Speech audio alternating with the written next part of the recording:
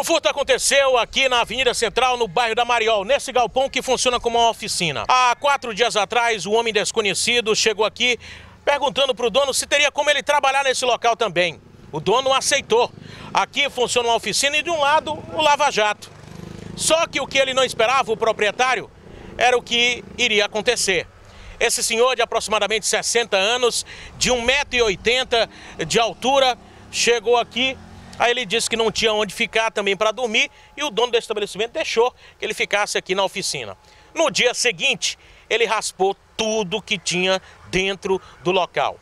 Rombou compressores, garrafas de oxigênio, todas as chaves que a oficina tinha e levou outros objetos. Segundo o proprietário, totalizando um prejuízo de quase 9 mil reais.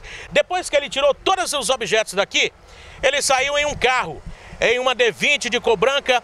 Inclusive na porta do veículo tem um adesivo escrito Mecânica e Borracharia Goiás. Foi até um poço de combustível, abasteceu e fugiu da cidade levando tudo.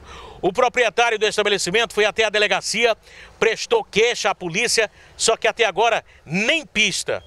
A gente tem a certeza que até o nome que o ladrão deu a ele não é verdadeiro.